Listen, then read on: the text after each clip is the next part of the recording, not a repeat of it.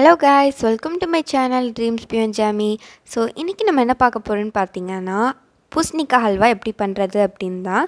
So இன்றைக்கி நான் வந்துட்டு வெள்ளை பூசணிக்காயில் தான் உங்களுக்கு செஞ்சு காமிக்க போகிறேன் வாங்க எப்படி பண்ணுறதுன்னு பார்க்கலாம்.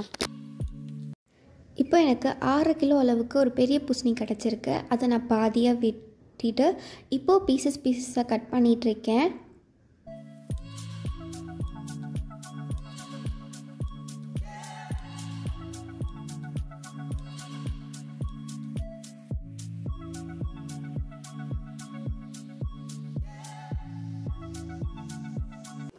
இப்போ பாருங்கள் நான் ஒரு பீஸ் எடுக்கிறேன். அதோட சீடெல்லாம் நான் கட் பண்ணி எடுத்துகிட்டு அதோடய தோல் கட் பண்ணுறேன் அதே மாதிரி தான் எல்லா பீசஸ்க்கும் பண்ணுறேன் ஃபஸ்ட்டு சீடு எடுத்துகிட்டு அதுக்கப்புறம் அதுக்கு பின்னாடி இருக்கிற அந்த க்ரீன் கலர் தோல் வந்து நான் ஃபஸ்ட்டு கட் பண்ணுறேன் ஸோ அந்த மாதிரி தான் எல்லாமே நான் கட் பண்ணி எல்லா பீசஸும் கட் பண்ணி வச்சிட்ருக்கேன்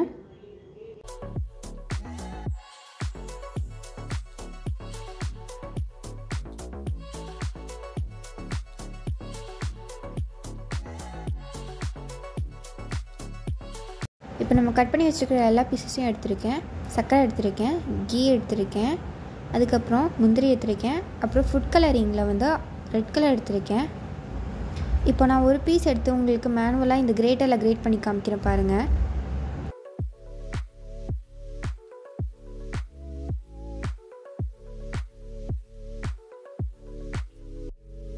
இப்போ பாருங்கள் நான் எவ்வளோ கிரேட் பண்ணாலும் எவ்வளோ எனக்கு கிடச்சிருக்கு அப்படின்ட்டு. இப்போ நான் உங்களுக்கு செகண்ட் மெத்தட் காமிக்கிறேன். நான் வந்து மாஸ்டர் ஷெஃப்பில் தான் இப்போ உங்களுக்கு செகண்ட் மெத்தட் எப்படி பண்ணுறதுன்னு சொல்ல போகிறேன் பல்ஸ் ஒன்றில் வச்சு நான் எல்லா பீசஸும் போடுறேன். வெறும் ஃபைவ் மினிட்ஸில் எனக்கு எல்லாமே வந்துடுச்சு இப்போ பாருங்கள் நான் உங்களுக்கு ஒரு க்ளோஸர் லுக் கூட காமிக்கிறேன். எப்படி இருக்குன்னு. எனக்கு நல்லா நைஸாக ஸ்மூத்தாக எனக்கு எல்லா பீசஸும் வந்துட்டு நல்லா கிரேட்டாகி வந்திருக்கு.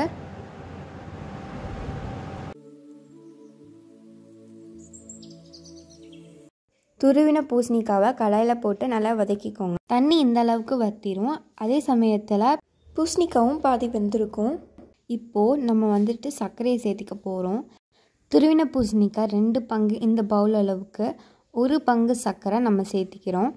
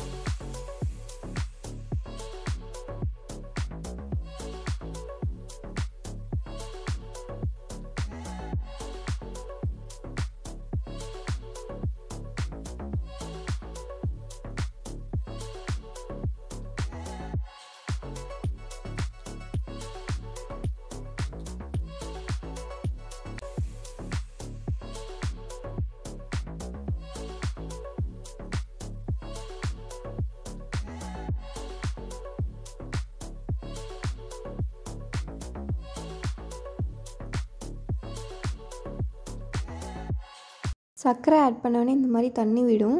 அதுலேயே வந்து நம்ம ஃபுட் கலர் சேர்த்திக்க போகிறோம் இப்போ நான் வந்து ரெட் கலர் சேர்த்திருக்கேன். அது நல்லா இப்போ மிக்ஸ் பண்ணி விட்டுக்கலாம்.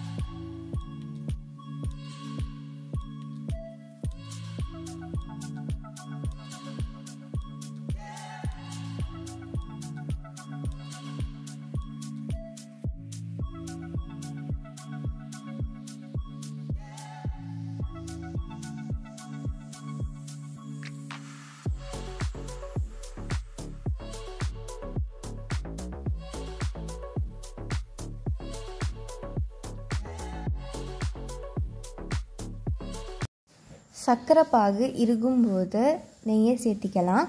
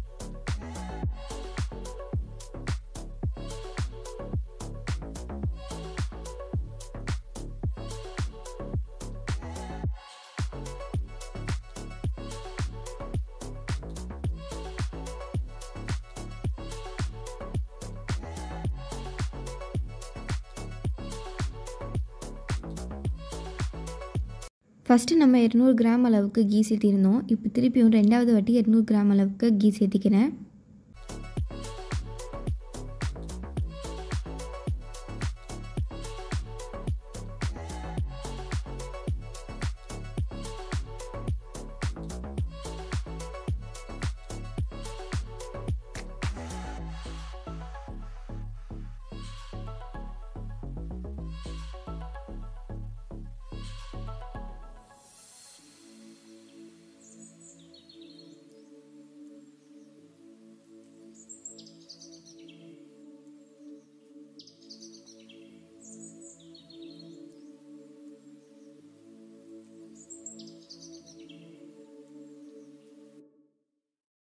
கீ போட்டு ஹல்வா திரண்டி வந்துருச்சு. இப்போது வெள்ளரி விதையை நம்ம சேர்த்திக்கலாம். ஒரு மூணு நிமிஷத்துக்கு நல்லா பெரட்டிட்டு அதுக்கப்புறம் ஆஃப் பண்ணிக்கோங்க.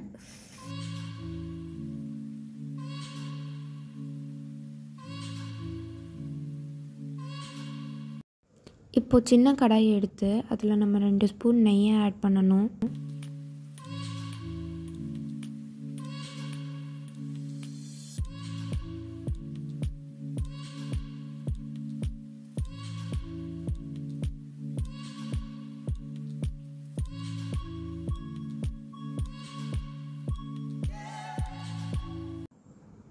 இப்போ முந்தைய கோல்டன் ப்ரௌன் வர வரைக்கும் நல்லா வறுத்து எடுத்துக்கலாம்.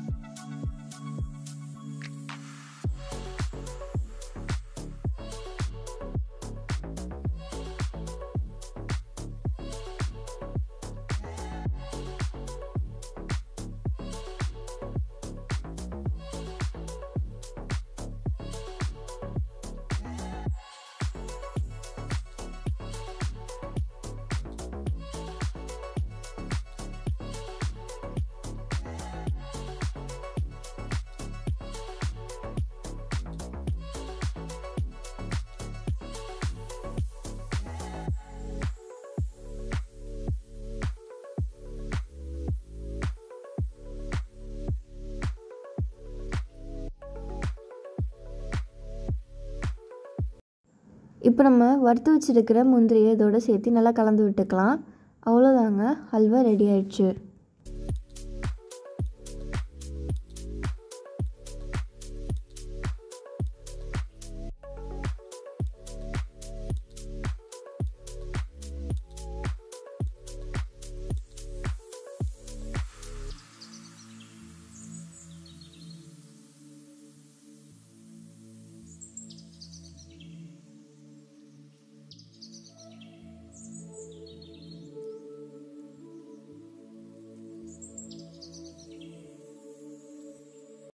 தேங்க்ஸ் ஃபார் வாட்சிங் மை வீடியோ இதே மாதிரி நியூ அப்டேட்ஸ் நிறையா தெரிஞ்சுக்கணுன்னா எங்கள் சேனலை லைக் பண்ணுங்கள் ஷேர் பண்ணுங்கள் கமெண்ட் பண்ணுங்கள் அண்ட் மறக்காமல் சப்ஸ்கிரைப் பண்ணுங்கள்